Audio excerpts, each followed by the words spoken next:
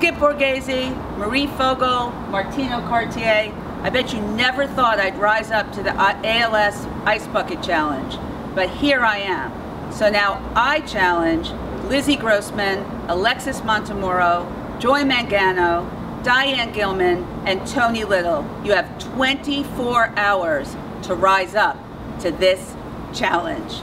Martino, I'm ready.